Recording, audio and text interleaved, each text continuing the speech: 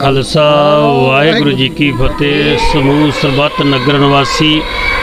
ਸਾਰੀ ਸੰਗਤ ਨੂੰ ਬੇਨਤੀ ਆ ਕਿ ਜੋ ਸਾਡੇ ਨਗਰ ਦੇ ਸਰਦਾਰ ਸੰਦੀਪ ਸਿੰਘ ਚਾਹਲ ਸਾਹਿਬ, ਉਹਨਾਂ ਨੇ ਜੋ ਸਪਰਿੰਗ ਪਬਲਿਕ ਸਕੂਲ ਖੋਲ੍ਹਿਆ, ਉੱਥੇ ਬਹੁਤ ਹੀ ਵਧੀਆ ਢੰ- ਢੰਗ ਤਰੀਕੇ ਨਾਲ ਛੋਟੇ-ਛੋਟੇ ਬੱਚਿਆਂ ਨੂੰ ਕੀਰਤਨ ਦੀ ਦਾਤ ਤੇ ਗੁਰਬਾਣੀ ਨਾਲ ਜੋੜਿਆ ਜਾਂਦਾ।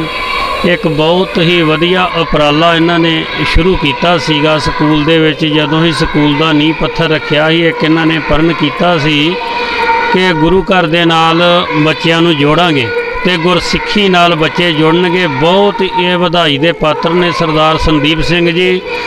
ਤੇ ਜੋ ਅੱਜ ਪ੍ਰੋਗਰਾਮ ਹੈ, ਛੋਟੇ ਸਾਹਿਬਜ਼ਾਦਿਆਂ ਦਾ ਸ਼ਹੀਦੀ ਜੋੜ ਮੇਲਾ, ਸਾਹਿਬਜ਼ਾਦਾ ਯੋਰਾਵਰ ਸਿੰਘ ਜੀ ਤੇ ਸਾਹਿਬਜ਼ਾਦਾ ਫਤਿਹ ਸਿੰਘ ਜੀ ਤੇ ਮਾਤਾ ਗੁਜਰ ਕੌਰ ਦੇ ਅੱਜ ਦੇ ਦਿਨ ਸ਼ਹਾਦਤ ਨੂੰ ਮੁੱਖ ਰੱਖਦਿਆਂ ਸਾਰੇ ਨਗਰ ਨੇ ਅਪਰਾਲਾ ਕਰਕੇ ਤੇ ਛੋਟੇ-ਛੋਟੇ ਬੱਚਿਆਂ ਦਾ ਗੁਰਦੁਆਰਾ ਸਾਹਿਬ ਸਾਹਿਬਜ਼ਾਦਿਆਂ ਨੂੰ ਮੁੱਖ ਰੱਖਦਿਆਂ ਸ਼ਹੀਦੀ ਜੋੜ ਮੇਲਾ ਕਰਵਾਇਆ।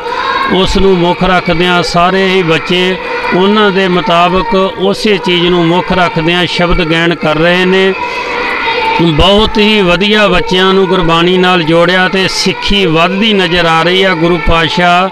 ਇਸੇ ਤਰ੍ਹਾਂ ਹੀ ਪ੍ਰਮਾਤਮਾ ਕਿਰਪਾ ਕਰੇ ਇਹਨਾਂ ਤੇ ਸਕੂਲ ਤੇ ਸਟਾਫ ਤੇ ਤੇ ਜੋ ਸਟਾਫ ਗੁਰਬਾਣੀ ਦੀ ਦਾਤ ਬਖਸ਼ਿਸ਼ ਕਰ ਰਹੇ ਨੇ, ਸਿਖਾ ਰਹੇ ਨੇ ਛੋਟੇ ਛੋਟੇ ਬੱਚਿਆਂ ਨੂੰ, ਅੱਜ ਜਿਹੜੇ ਬੱਚੇ, ਇੱਕ ਅੱਖਰ ਵੀ ਜਿਸ ਬੱਚੇ ਦੇ ਹਿਰਦੇ ਵਿੱਚ ਵਸ ਗਿਆ ਨਾ, ਉਹਦੀ ਸਾਰੀ ਉਮਰ ਤੱਕ ਗੁਰਬਾਣੀ ਦੀ ਦਾਤ ਨੂੰ ਬਖਸ਼ਿਸ਼ ਹੋ ਗਈ ਆ। ਕਿਣਕਾ ਏਕ ਜਿਸ ਜੀ ਬਸਾਵੇ ਤਾਂ ਕਿ ਮਹਿਮਾ ਗਣੀ ਨਾ ਆਵੇ। ਇਹਨਾਂ ਦਾ ਬਹੁਤ ਬਹੁਤ ਧੰਨਵਾਦ ਕਰਦੇ ਹਾਂ ਸਰਦਾਰ ਸੰਦੀਪ ਸਿੰਘ ਚਾਲ ਸਾਹਿਬ ਦਾ ਤੇ ਨਾਲ ਸਾਰੇ ਸਟਾਫ ਦਾ ਤੇ ਜੋ ਬੱਚੇ ਕੀਰਤਨ ਕਰ ਰਹੇ ਨੇ, ਗੁਰੂ ਪਾਤਸ਼ਾਹ ਇਹਨਾਂ ਨੂੰ ਵੱਧ ਚੜ ਕੇ ਤਰੱਕੀ, ਬਲ ਬਖਸ਼ਿਸ਼ ਕਰੇ, ਗੁਰਬਾਣੀ ਨਾਲ ਜੁੜਨ ਤੇ ਗਾਂ ਆਉਣ ਵਾਲੇ ਨਵੇਂ ਬੱਚੇ ਵੀ ਇਸ ਸਕੂਲ ਦੇ ਵਿੱਚ ਐਡਮਿਸ਼ਨ ਲੈ ਕੇ ਤੇ ਗੁਰਬਾਣੀ ਦੀ ਦਾਤ ਤੇ ਕੀਰਤਨ ਦੀ ਦਾਤ ਪ੍ਰਾਪਤ ਕਰਨ। ਵਾਹਿਗੁਰੂ ਜੀ ਕਾ ਖਾਲਸਾ, ਵਾਹਿਗੁਰੂ ਜੀ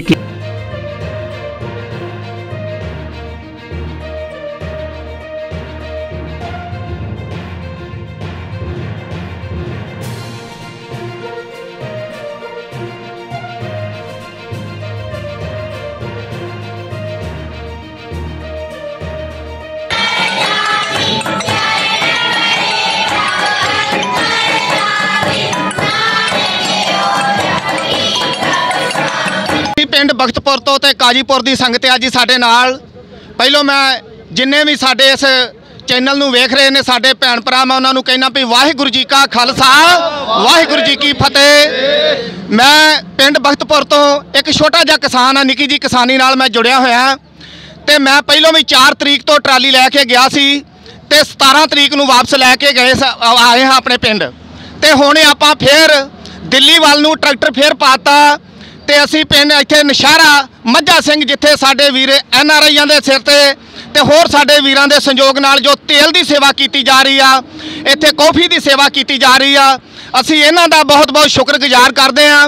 ਮੈਂ ਮੈਸੇਜ ਦੇਣਾ ਚਾਹੁੰਦਾ ਆਪਣੇ ਕਿਸਾਨ ਵੀਰਾਂ ਨੂੰ ਕਿ ਘਰਾਂ ਵਿੱਚ ਨਾ ਬੈਠੇ ਰਹੋ। ਹੁਣ ਤੱਕ ਕਿੰਨੇ ਕਿੰਨੀ ਵਾਰ ਤੁਸੀਂ ਦਿੱਲੀ ਹੋ ਗਏ ਜੇ? ਅਸੀਂ ਦੂਜੀ ਵਾਰ ਚੱਲੇ ਹਾਂ ਜੀ। ਤੇ ਮੈਂ ਆਪਣੇ ਕਿਸਾਨ ਵੀਰਾਂ ਨੂੰ ਬੇਨਤੀ ਕਰਦਾ ਕਿ ਉਹ ਮਾਂ ਗੁਜਰੀ ਦੇ ਲਾਲਾਂ ਨੂੰ ਯਾਦ ਕਰੀਏ, ਮਾਂ ਗੁਜਰੀ ਨੂੰ ਯਾਦ ਕਰੀਏ, ਜਿਨ੍ਹਾਂ ਨੇ ਇਹਨਾਂ ਦਿਨਾਂ ਦੇ ਵਿੱਚ ਆਪਣੀਆਂ ਸ਼ਹੀਦੀਆਂ ਪ੍ਰਾਪਤ ਕੀਤੀਆਂ ਸੀ।